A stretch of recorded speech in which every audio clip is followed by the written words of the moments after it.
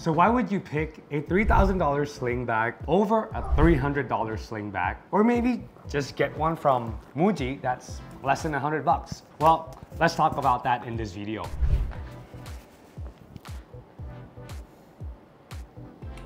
Okay, well, first off, I must tell you that I bought this Goyard. I've had four versions of this Goyard uh, Belvedere now in the GM size. So there's two sizes. There's the PM and then there's the GM. This is the bigger one, which is the GM size. I've had the yellow one, which is the one that my mom bought and I inherited it, um, or I kind of nicked it from her. And I bought two more during the COVID season when the prices was low. And then I thought that, you know, it's too small for my liking and I ended up selling both of them off of the open market. Unfortunately, Goyard just went bonkers and the price went up really, really fast. I later uh, regretted that decision, so I rebought this later and my wife actually helped me pre-order it from another store and managed to get my hands on it. A sling bag that I always come back to. Now, of course, I do love nice stuff. So if you don't like that kind of stuff, this might not be the video for you and that's all right. But if you like nice stuff, nice things, nice watches, nice cars, nice brands, I would say that I've been looking for the perfect sling bag of a variety of luxury brands.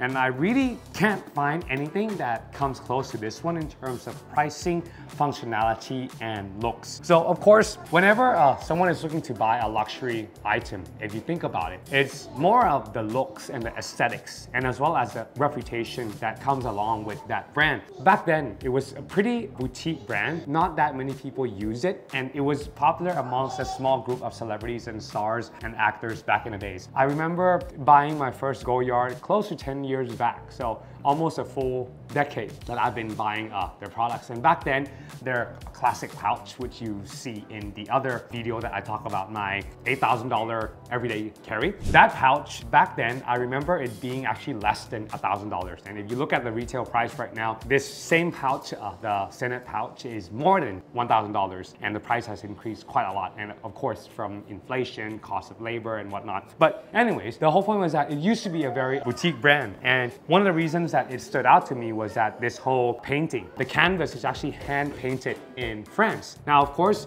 they've managed to keep the quality pretty high throughout. I haven't seen any reduction in the quality. However, there has been improvements of design and as well as more models that Goyard have released over the years. And I must say that they have gotten more functional compared to the previous ones. Now, if you want to take a look at the history of Goyard, there's plenty of resources, there's plenty of resources out there, or maybe if you want to hear their history here on this channel, let me know as well. I'm still trying to figure out what you guys like to watch. Just back to the functionalities. As you can see, there's, you know, this front flap that just covers down. And it's actually pretty simple to close and open, which is important for me as a dad because I'm carrying my son with me. Sometimes I'm out and I wanna make sure that my bag is secure, but it also allows me to take anything that I need out of it as quick as possible. Nothing wrong with a zipper bag, which the Grams have, which is a zipper, but I just find that after using both for a period of time, especially this one and this one that I've been using lately, I find that I've been using more of the Goyard than the Grams. Now, the whole point is that this is supposed to be a bag that is simple, aesthetic, luxurious, because this brand is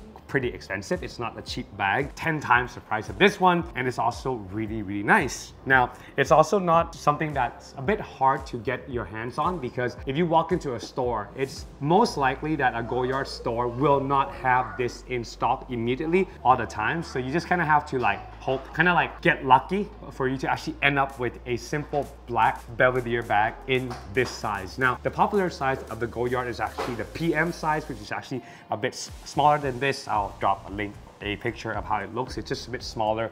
And you can see the difference between the distance of these flaps to this buckle here. So it's like around that size, which is also a, a, convenient size for people who might not have quite a lot of stuff. So what can you fit in here? You can actually fit an iPad, you can fit basically almost every single thing that you saw in my everyday carry bag, the $8,000 pouch, it goes straight in here as well. But the bonus is that because there's a back pocket as well, which you can keep your quick use items when you have it slung over your body, basically like that, and you can have quick access items here, perhaps something that is not so expensive or pricey that you won't mind dropping off, uh, perhaps some tissue. Sometimes I have my name cards at the back. Uh, sometimes I have some tissue paper just for cleaning. Sometimes I just put my sunglasses at the back as well, which is pretty convenient. Now, of course, inside there's plenty of pockets and room to keep your items. There's two internal pockets inside. It fits almost everything that I need. In terms of the looks and I guess the brand aesthetic, reputation, or basically if you're trying to impress someone and you're trying to look rich, then of course the Goyard wins it on that side. And I think it's a really good mix and match between luxury, function, uniqueness, which is something that I always look for when I'm buying a piece of luxury item. It should be something that I can use often. It's loud, but not too loud. This might be too loud for some of you. So far, if I'm wearing something plain, I think this bag goes really, really well. So as I mentioned, it's canvas, it's leather. Those are the two main materials that's used on this bag. The yellow one that my mom has, she's had it for close to 10 years now as well it's still in really, really good condition. So they do age really nicely and they are more durable than they look. I'm not a person who use luxury brands really like carefully. It means that I just buy it and I intend to use them mainly. So that's also important for me. I don't plan, you know, that this is gonna appreciate,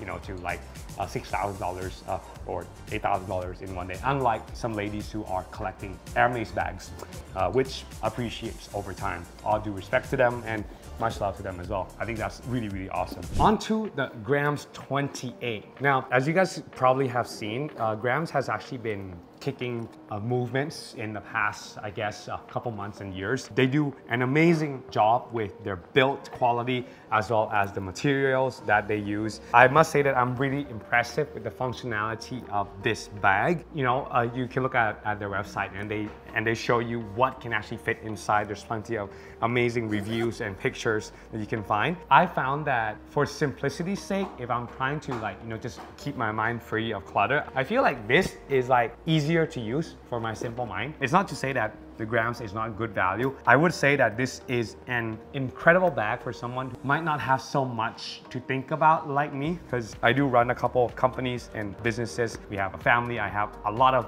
things that's on my head. I tend to want to do a lot. So sometimes having a lot of pockets and a functionality that is inside the bag makes me kind of like, it adds a bit more friction for me personally. It's not a bad thing and it's actually very, very functional and I would highly recommend anyone to try and get your hands on it if you can. I think it's very value for money with the price being 10 times less than this one and the leather is actually very, very impressive. When you look at the pictures and you feel and touch the real thing, it feels a lot better than how it looks. And I think this is really important. My wife has a black Hermes Lindy bag, which the leather is very similar to the one on this one. So they have really picked some really high quality leather just as advertised. I must give it to them on that one. Who is this for? I think this is for anyone who wants a nice, clean, sleek sling bag that you can use on a daily basis. Unfortunately, it is too small for actual laptop. So if I'm using my 13 inch laptop, then I have to carry it with me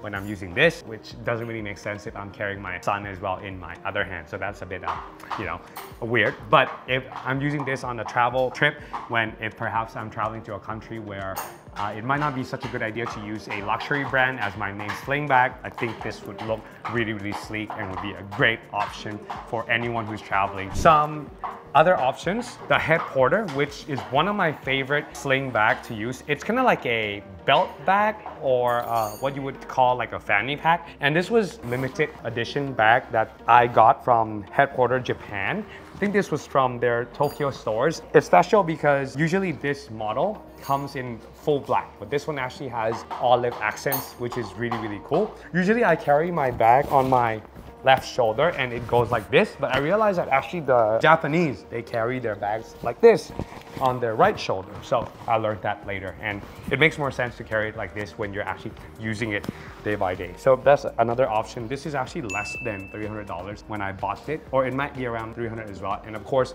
this one is water resistant. It's pretty durable and it's soft, it's light, and it can fit more than it looks. Like you can really pack a lot of stuff in here. Unfortunately, it won't fit an iPad, but it can fit like a water bottle, you can fit like phones, your wallets and stuff like that. This is no problem, and your passports and stuff like that as well. So great for travel. And then of course, there's also this very classic, popular Head Porter belt bag. Um, it's a nice and small. There's actually a couple versions of this one. There's uh, this size, and there's one that's a bit bigger and also smaller, if I'm not wrong. It has a simple front part and as well as a back pot. So if you are in the market for some Head Porter stuff, I think they have some really awesome, cool looking, functional, and as well as sleek and clean looking. And the idea about Head Porter is that they're not like a luxury brand, but it's also not like a too much of a mass market brand. So I think for people who know or are into like streetwear and street fashion, Head Porter is definitely a brand that comes out of that